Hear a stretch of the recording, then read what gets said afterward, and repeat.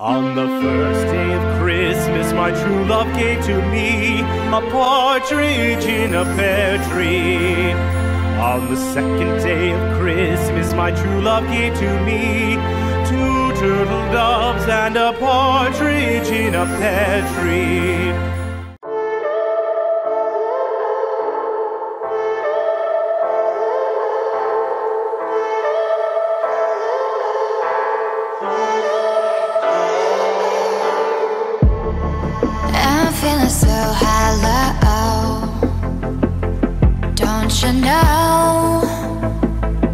Don't you know? I'm living in shadow. Don't you know? Don't know? Para fazer esse vestido é muito simples. Eu tenho aqui 1,70m de viscose, você pode pegar qualquer tecido, o ideal é que seja que tenha um bom caimento, tá? Leveza, pode ser um crepe também. Eu vou colocar assim direito com direito. Então, eu vou colocar essa medida dividido por 4. E aí, eu já vou colocar aqui essa medida. Para não desperdiçar tecido, eu vou dobrar exatamente o que eu preciso, tá? Pronto, já tem aqui a medida que eu preciso. Vou usar uma blusa de base então vou dobrar ela ao meio, só para me dar aqui referência de cava, de decote. A altura da minha peça ela vai ser todo esse comprimento do tecido aqui, 1,70m. E aí eu só vou marcar aqui a altura da cava. Eu já vou colocar aqui a medida com folga de costura. Então vou fazer um retângulo, tá, gente? É um retângulo, até o final é um retângulo. E é aqui que eu vou marcar a altura da minha cava, com base na camisa e a altura do meu decote. Então vou vir aqui desenhar a minha cava, vou fazer uma cava mais... Vou fazer um decote de 20 centímetros de altura, aí o decote você coloca a altura que você quer.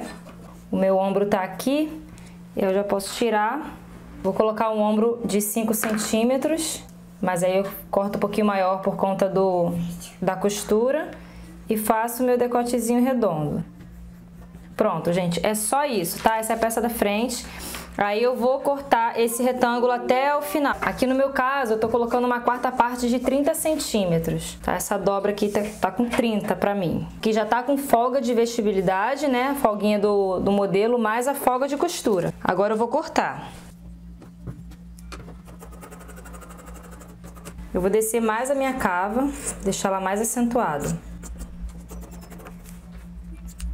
Pronto, aqui eu tenho a minha peça da frente e vou tirar como base para cortar a peça das costas.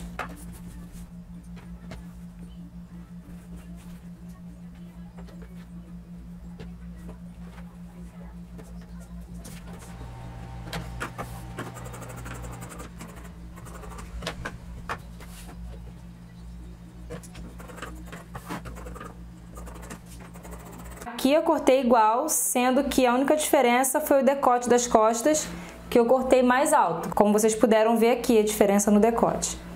Agora eu vou pegar essa peça de trás aqui.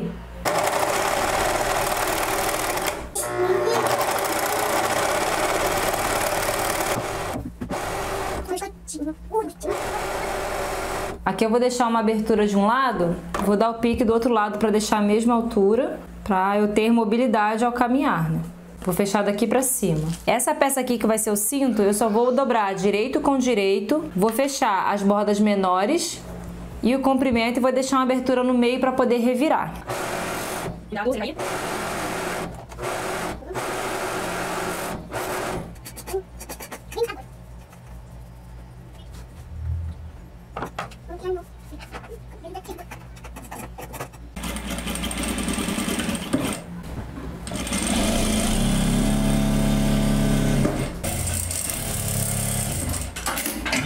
Aqui, como vocês podem perceber, eu já fiz o chuleado no overlock. Se você quiser, pode deixar assim, mas eu vou dar um pique aqui, olha, logo no finalzinho da costura que eu acabei de fazer, onde terminou. Mas aí eu vou fazer uma bainha aqui do outro lado também, onde eu terminei a costura, eu vou dar um pique para eu ter margem para virar. Então nessa parte que vai ser a fenda das laterais, eu vou virar uma vez aqui e costurar.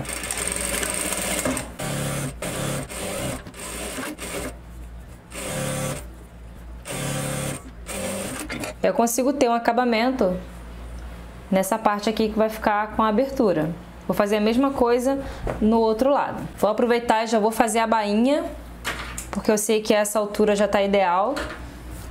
Então vou fazer uma bainha virando duas vezes bem fininho. E aqui no decote cava, gente, vocês podem fazer o acabamento que vocês acharem melhor, ou viés, revel ou debrum, tá? Eu vou fazer o debrum, que é o meu favorito. Aí tem vídeo já sobre acabamentos que você pode utilizar, desses três tipos de acabamentos, eu vou deixar linkado aí na descrição, tem toda a explicação do passo a passo de cada um deles.